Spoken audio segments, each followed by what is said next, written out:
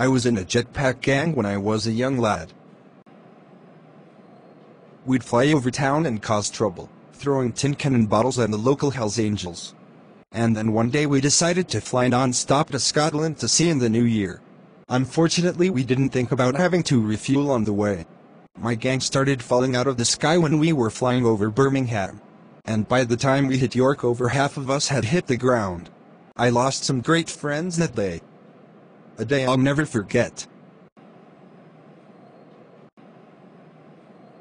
You're not listening to me, are you?